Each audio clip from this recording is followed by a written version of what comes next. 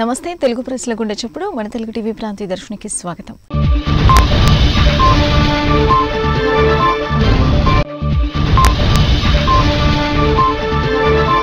శ్రీశైల దేవస్థానం నిర్వహిస్తున్న గో సంరక్షణ స్థలలోని కోడెదూడలను చెంచు గిరిజన రైతులకు ఎమ్మెల్యే శిల్పా చక్రపాణిరెడ్డి అందజేశారు. గడప గడపకు ప్రభుత్వం పర్యటన మూడో రోజుల భాగంగా ఎమ్మెల్యే శిల్పా చక్రపాణిరెడ్డి ప్రత్యేక చొరవతో మూడు జిల్లాల గిరిజన రైతులకు డిప్ ద్వారా కోడెలు కోడెదూడలను అందజేశారు. సుమారు నూట ఏడు కుటుంబాలకు రెండు వందల పద్నాలుగు కోడెలు కోడెదూడలను చెంచు గిరిజన రైతుల వినియోగానికి ఎమ్మెల్యే శిల్పా చక్రపాణిరెడ్డి ప్రత్యేక శ్రద్ధతో అందజేయగా అయితే కోడెలను కోడెదూడలను గిరిజన రైతుల వారి గ్రామాలకు తీసుకెళ్ళేందుకు సుమారు అరవై ఒక్క వేలను తన సొంత డబ్బులను ఎమ్మెల్యే శిల్పా చక్రపాణిరెడ్డి స్వయంగా గిరిజనులకు అందజేశారు. మరోపక్క ఎన్ని సంవత్సరాలుగా మూతపడిన గిరిజన ఆశ్రమ ఉన్నత పాఠశాలను సైతం ఎమ్మెల్యే ప్రత్యేక చొరవ తీసుకుని దానిని కూడా సుమారు అరవై మంది బాలికల విద్య కోసం గిరిజన ఆశ్రమ ఉన్నత పాఠశాలకు రిబ్బన్ కట్ చేసి ప్రారంభించారు. అనంతరం ఎమ్మెల్యే శిల్ప మాట్లాడుతూ గిరిజనులు ఉన్నత చదువులు చదవాలని ఎవరూ విద్య కోసం బాధపడకూడదని ఇప్పటికే గిరిజనుల కోసం క్షేత్ర పరిధిలో ముప్పై దుకాణాలు వంద చేశానని ఎమ్మెల్యే శిల్పా చక్రపాణి రెడ్డి అన్నారు. ఒకటి రెండు ఇరవై ఐదో జోడి మీకు ఇస్తాము. ఒకటి రెండు ఉంటాయి కాబట్టి ఒకటి రెండు అని వేస్తామమ్మా తీసుకోమ్మా.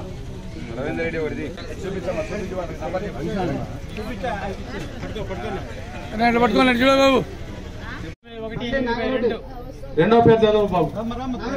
మీరు కూడా రాసుకోండి.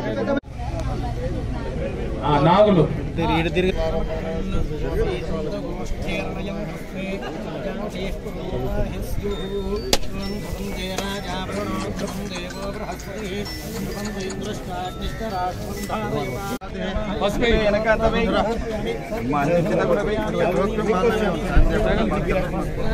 కొంచెం జాగ్రత్తలు నేను ఆర్తిస్తాడంట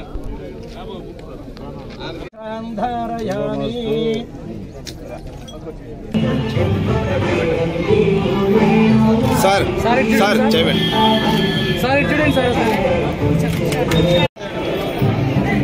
మేడం మేడం కొంచెం సైడ్ జరగదు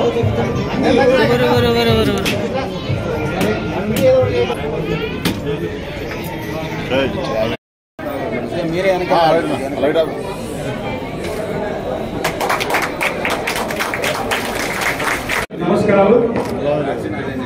ఈ ప్రభుత్వ చేశాను. ఇదే విధంగా మీరు ఎడ్యుకేషన్ వైపు వైపు అగ్రికల్చర్ వైపు హలో.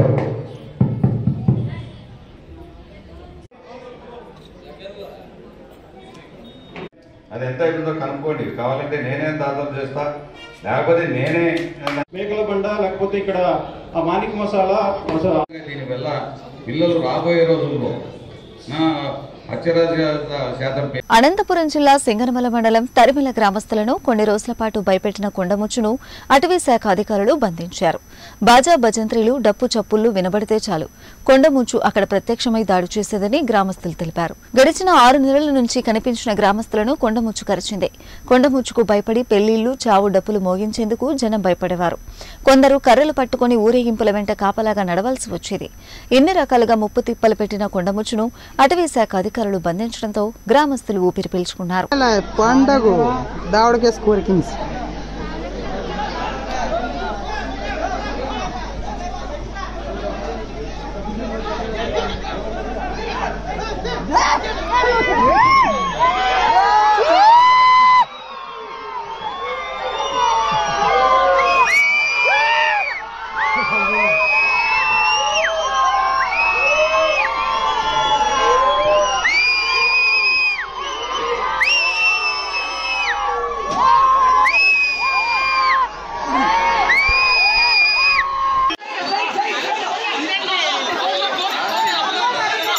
வச்சுக்கிறா ப்ரோ எங்கேயுமே தருங்க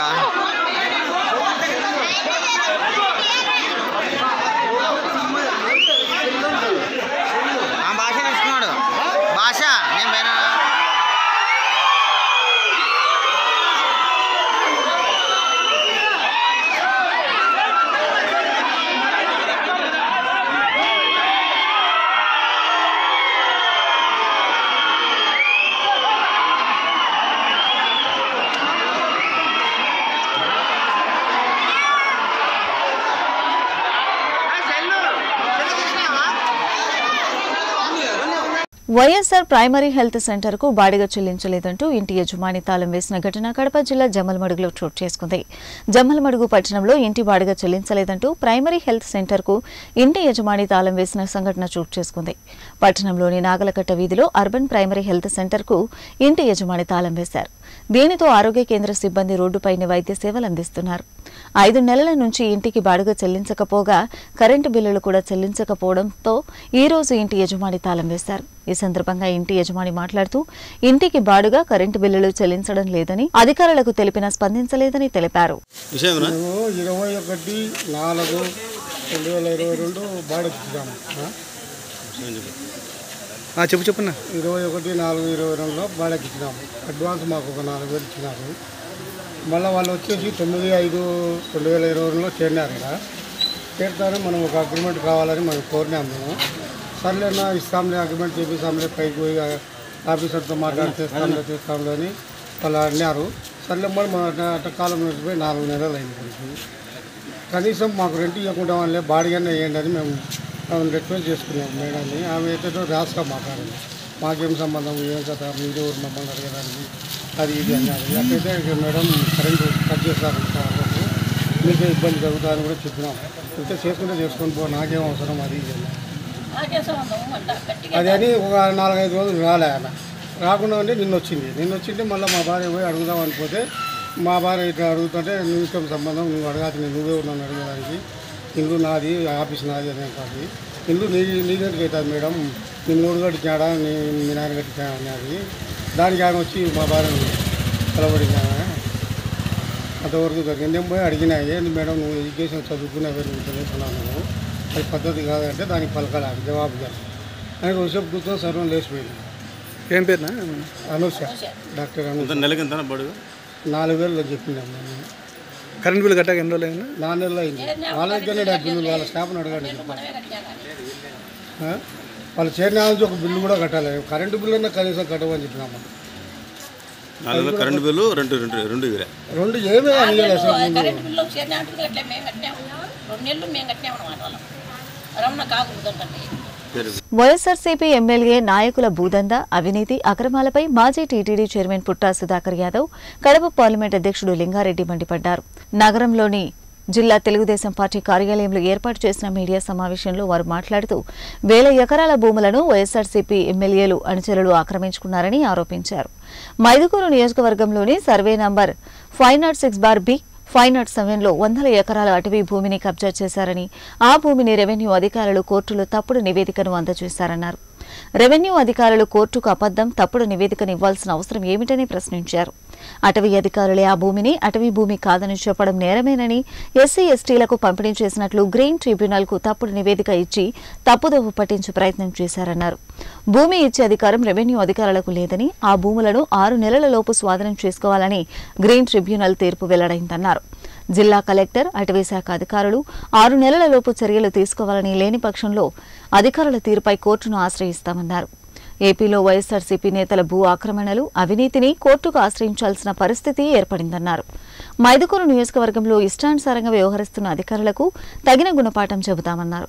కుందు నది విస్తరణ పనుల్లో సైతం భారీ స్థాయిలో అక్రమాలు జరుగుతున్నాయని ఈ అక్రమాలపై అధికారులు చర్యలు తీసుకోకపోతే కోర్టు నుంచి చివాట్లు తప్పవని హెచ్చరించారు. ఇది నేనే కోర్టుకి వేసిన ఎన్జిట్కి వేసిన ఇంత కష్టపడినాక కొంచెం ప్రెస్ పెట్టి చెప్పాలి కదా. మూడు వందల ఎకరాలు? మూడు వందల ఎనిమిది ఎకరాలు. ఎకరాలు ఫెన్సింగ్ వేసుకుంటాడు కానీ మూడు వందల ఎకరాలు కలిపి ఎట్లా ఫెన్సింగ్ వేస్తారు? దాన్ని బట్టి అది ఎక్రమని అర్థమవుతా ఉంది. వాళ్ళ దగ్గర మైదుగూరు నియోజకవర్గంలో రెండు వేల పంతొమ్మిది నుంచి భూములు అక్రమంగా బడుగు బలహీనత భూములు అధికారం చేతిలో ఉందని చెప్పేసి వైకాపా పార్టీ నాయకులు లీడర్స్ అందరు కలిసి విపరీతంగా దౌర్జన్యంగా ఆక్రమించుకుంటాను ఎక్కడ దొరికిన ఎక్కడ ఖాళీ భూమి ఉంటే అక్కడ ఆక్రమించుకుంటూ చాలా ఆక్రమించుకుంటూ వచ్చారు. నంద్యాలపేట గ్రామం ప పంచాయతీలో మీరందరూ సుమారు శాసనసభ్యులు వారి అనుచరులు అందరూ కలిసి సుమారుగా ఐదు వందల ఆరు బి సర్వే నెంబర్లో ముప్పై ఎనిమిది ఎకరాలు ఐదు వందల ఏడు సర్వే నెంబర్లో రెండు వందల అరవై అరవై ఏడు ఎకరాలు ఆక్రమించుకున్నారు.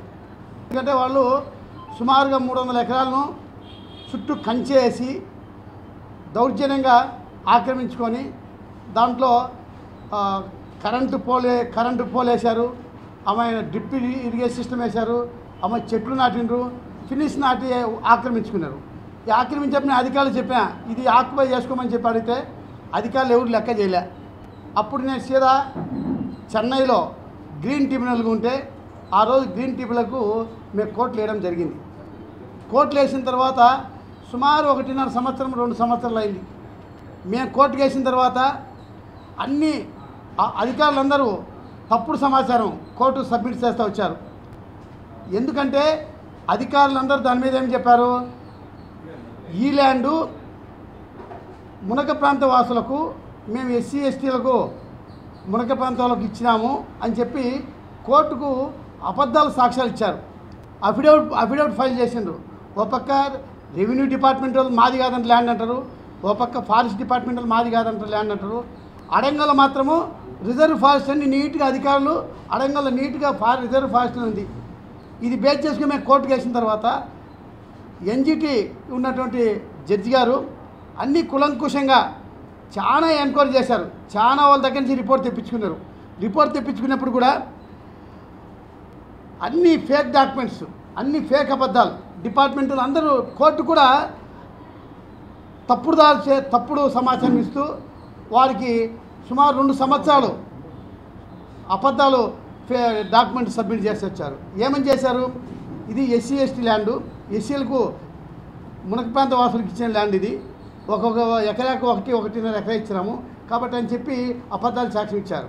నేను ఒకటే అడుగుతున్నా ఈ అధికారులు కూడా కోర్టుకు అబద్ధం చెప్పడము మునక ప్రాంత వాసులకు ఎస్సీలకు ఒకటి ఒకటిన్నర ఎకరా భూమి ఇచ్చినప్పుడు అక్కడ మూడు వందల ఎకరాలు కంచి వేసి ఆకుపై చేసుకొని ఉంటే ఎవరికైనా మూడు వందల ఎకరాలు ఏ రకంగా ఇస్తారు అధికారులు?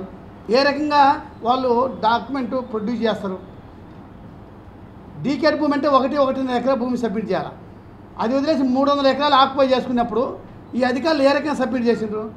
ఈ అధికారులందరూ సబ్మిట్ చేసిన తర్వాత కోర్టు న్యాయం ఉంది చట్టం ఉంది. న్యాయం క్లియర్ కుశంకుశంగా అంత డీటెయిల్గా ఎంక్వైరీ చేసిన తర్వాత వాళ్ళు ఒకటే ఈరోజు కోర్టు క్లియర్గా జడ్జిమెంట్ ఇచ్చింది. నేషనల్ గ్రీన్ ట్రిబ్యునల్ జడ్జిమెంట్ ఇచ్చింది. ఏమని ఇచ్చారంటే ఫస్ట్ దీని ఈ జడ్జిమెంట్ను ఇమీడియట్ పబ్లిసిటీ చేసి ఇంటర్నెట్లో పెట్టండి అని కోర్టు డైరెక్షన్ ఇచ్చింది. ఆ తర్వాత అదే రకంగా పబ్లిసిటీ చేసి ఆల్ ఎన్జిటి డిపార్ట్మెంట్కు రిపోర్ట్ చేయమని చెప్పి కూడా కోర్టు డైరెక్షన్ ఇచ్చింది. ఫస్ట్ డైరెక్షన్ ఇచ్చిన తర్వాత కోర్టు ఒకటే స్టే అడిగింది. మీరు భూమి ఇచ్చానికి మీకు అర్హత చక్కరుంది ఇది ఫారెస్ట్ ల్యాండ్ అని. ఫారెస్ట్ డిపార్ట్మెంట్ కూడా కన్జర్వేటర్. కన్జర్వేటర్ కూడా కోర్టుకు సబ్మిట్ చేసిండు నీట్గా సబ్మిట్ చేసిండు. ఇది కోర్టు ఇది ఫారెస్ట్ డిపార్ట్మెంట్ ఫారెస్ట్ భూమి అని చెప్పి కోర్టుకు సబ్మిట్ చేసిన తర్వాత కోర్టు ఇవన్నీ క్లియర్గా విశదీకరించి పరిశీలించిన తర్వాత అసలు మీకు ఇచ్చేదానికి అర్హత లేదు. మీకు ఇవ్వాలంటే గిన పర్మిషన్ తీసుకోవాలా? నువ్వు తీసుకోలేదు పర్మిషన్ తీసుకోకుండా మీరు ఇచ్చినారు కాబట్టి ఇది ఇల్లీగలు. ఖచ్చితంగా ఇమ్మీడియట్గా మీరు ఎవరెవరు ఆక్యుపై చేసినారో ఈ ఆక్యుపై చేసినటువంటి ల్యాండ్ ఆరు నెలల లోపల మీరు ఖాళీ చేసి కంప్లీట్ ఖాళీ చేయాలి అని చెప్పేసి క్లియర్గా జడ్జిమెంట్ ఇచ్చింది. ఎన్జిటి జడ్జిమెంట్ ఇచ్చారు క్లియర్గా. మంత్స్ లోపల మీరు ఎవరెవరు ఆక్యుపై చేసినారో సర్వే చేసి హ్యాండ్ ఓవర్ చేసుకొని గవర్నమెంట్ హ్యాండ్ ఓవర్ చేసుకోమని చెప్పి ఎన్జిటి క్లియర్గా కోర్టు డైరెక్ట్ డైరెక్షన్ ఇచ్చింది. ఆరు నెలల లోపల అది సర్వే చేసి కంప్లీట్గా ఆక్యుపై చేసుకోవాలా. ఆ రోజేమో శాసనసభ్యులు ఎవరెవరు తీసుకోలేని చెప్పారో ప్రెస్ మీట్కి పెట్టారు. మేమెవరు ఆక్రమించలేదు అని చెప్పి ఆ రోజు చెప్పారు. మేము చెప్పాము మీరు ఆక్రమించుకుంటే కదా అధికారం మీ చేతిలో ఉంది. మీరే హ్యాండ్ ఓవర్ చేయండి గవర్నమెంట్ అని చెప్తే ఆ రోజు పలకలే. దీని మీద కోర్టు ఈరోజు నీట్గా ఎన్జిటి నీ నేషనల్ గ్రీన్ ట్రిబ్యునల్ చెన్నై నీట్గా డైరెక్షన్ ఇచ్చింది. ఆరు నెలల లోపల మీరు ఎవరెవరు ఆక్యుపై చేసిండో మూడు వందల అంటే ఐదు వందల ఆరు బిలో ముప్పై తొమ్మిది ఎకరాలు ఐదు వందల ఏడు రెండు వందల అరవై ఏడు ఎకరాలు ఇమ్మీడియట్గా మీరు ఆక్యుపై చేసుకొని ఆరు నెలల లోపల మళ్ళీ మేము ఆక్యుపై చేసుకున్నామని చెప్పి కోర్టుకు సబ్మిట్ చేయాలని చెప్పి డైరెక్షన్ ఇచ్చింది. అంటే న్యాయం అనేది చట్టం అనేది ఖచ్చితంగా ఉంది. అధికారులు లేదు ఈరోజు మాది జరుగుతుందని చెప్పి దౌర్జన్యంగా పాల్పడితే వాళ్ళు ఎట్టి పరిస్థితి వదిలే ప్రశ్న లేదు. ఇంకోటి కూడా ఈ ఆరు నెలల లోపల అధికారులు నిర్లక్ష్యం చేసి దీని మీద ఆరు నెలలోపు చేయాలని చెప్పి అందరికి ఇచ్చారు ఇన్స్ట్రక్షన్ ఇచ్చారు. ఎవరెవరికి? డిస్టిక్ కలెక్టర్కు ఆ తర్వాత district forest officer Proddatur and principal chief conservator forester head of forest special chief secretary government all department environment forest అందరికి కూడా కోర్టు నుంచే డైరెక్షన్ ఇచ్చారు. ఇమీడియట్గా ఆరు నెలల లోపల చేసి మాకు రిపోర్ట్ సబ్మిట్ చేయమని చెప్పి తండ్రిపై ఉన్న కోపంతో ఎనిమిదేళ్ళ బాలుడిని కిరాతకంగా చంపిన కేసులో ఇద్దరు నిందితులను కడప చిన్నచౌక్ పోలీసులు అరెస్టు చేసి రిమాండ్కు పంపారు. తల్లిదండ్రుల తర్వాత తల్లిదండ్రులుగా భావించి చూసుకోవాల్సిన సొంత చిన్నాన్న పిన్నిలు బాలుడి తండ్రిపై ఉన్న కక్షతో ఈ ఘాతకానికి తెగబడ్డారు. బాలుడిని చంపి పరారైన వారిని పట్టుకునేందుకు పోలీసులు గట్టి చర్యలు తీసుకోవడంతో గత్యంతరం లేక నేరాన్ని అంగీకరిస్తూ కడప డిప్యూటీ తహసీల్దార్ ఎదుట వారు లొంగిపోయారు. సరిగ్గా వారం రోజుల కిందట కడప నగరంలోని ఓం శాంతినగర్లో చిన్నమ్మ చిన్నాన్నల చిత్రహింసలను తాళలేక ఎనిమిదేళ్ళ అయాన్ అశ్రీత్ కుమార్ కన్నుమూశాడు తల్లిదండ్రులు ఉపాధి కోసం గల్ఫ్ దేశాలకు వెళుతూ నాన్నమ్మ ఇందిరమ్మ వద్ద వదిలి వెళ్ళారు. అయితే అయాన్ అశ్రిత్ కుమార్ తండ్రి శివకుమార్ బాలుడిని చిత్రహింసలు పెట్టి హతమార్చిన ఇంద్రజ అంజన్ కుమార్లు ప్రేమ వివాహం చేసుకున్నారు. వీరికి ఒక కుమార్తె కూడా ఉంది. ఈ ప్రేమ వివాహాన్ని అప్పట్లో వ్యతిరేకించారట. అప్పటి నుంచి శివకుమార్పై కక్ష పెంచుకున్న ఇంద్రజ అంజన్ కుమార్లు ఎలాగైనా వారిని ఇబ్బంది పెట్టాలని ప్రయత్నించారు. ప్రేమ వివాహం అయ్యాక కొంతకాలానికి తల్లిదండ్రులు ఇందిరమ్మ జానయ్యలతో తిరిగి సంబంధ బాంధవ్యాలు పెంచుకున్నారు. ఉపాధి కోసం వెళుతూ శివకుమార్ భాగ్యమ్మలు తన కుమారుడు అయాన్ అశ్రిత్ కుమార్ను నాన్నమ్మ దగ్గర ఉంచిన విషయాన్ని గమనించిన నిందితులు తమ దగ్గర ఉంచుకొని మంచి చదువు చెప్పిస్తామని బాలుడి నానమ్మను నమ్మబలికించారు ఆగస్టు పదిహేనున కడపకు తీసుకువెళ్ళారు. అప్పటి నుంచి బాలుడిపై చిత్రహింసలు పెట్టడం మొదలుపెట్టారు. వాతలు పెట్టడం కొట్టడం తీవ్రంగా గాయపరచడంతో అయాన్ అశ్రిత్ చనిపోయాడు. దీంతో బాలుడి మృతికి కారణమైన నిందితులు ఘటన జరిగాక పరారయ్యారు. బాలుడి నాన్నమ్మ ఇచ్చిన ఫిర్యాదు మేరకు కేసు నమోదు చేసుకున్న చిన్నచోక్ పోలీసులు అడిషనల్ ఎస్పీ తుషార్ దుడి ఆధ్వర్యంలో ప్రత్యేక పోలీస్ బృందం నిందితుల కోసం ప్రత్యేక చర్యలు తీసుకుంది. హత్య చేశాక బెంగళూరు తమిళనాడు పళని వేలాంగిని ప్రాంతాల్లో తలదాచుకునేందుకు ప్రయత్నించారు. అక్కడికి కూడా పోలీస్ బృందాలు వెళ్ళడంతో గత్యంతరం లేక నిందితులు ఇంద్రజ అంజన్ కుమార్లు కడప డిప్యూటీ తహసీల్దార్ ఎదుట లొంగిపోయి నేరాన్ని అంగీకరించారు. దీనితో పోలీసులు అదుపులోకి తీసుకుని వారిని రిమాండ్కు తరలిస్తున్నట్లు వైఎస్ఆర్ జిల్లా additional SP Tushar Dudi media సమావేశంలో చెప్పారు. ఒక కంప్లైంట్ ఇచ్చారు. కంప్లైంట్ కంటెంట్స్ ప్రకారం ఆవిడ కూతురు Indraja age twenty five years and అల్లుడు Anjan Kumar age thirty one years కొట్టేసి బాబుని చంపేశారు. సో ఆ అప్రోప్రియేట్ సెక్షన్స్ ప్రకారం అక్కడ ఎస్ఐ గారు కేసు రిజిస్టర్ చేశారు. కేసు రిజిస్టర్ అయిన తర్వాత మన జిల్లా ఎస్పీ సార్ వెంటనే ఇన్వెస్టిగేషన్ మానిటరింగ్ స్టార్ట్ చేశారు. సార్ ఆదేశాల మేరకు మేము స్పెషల్ టీమ్స్ ఫామ్ చేశాము. ఆ టీమ్స్ అక్యూజ్డ్ పైన technical plus human intelligence surveillance start చేశారు.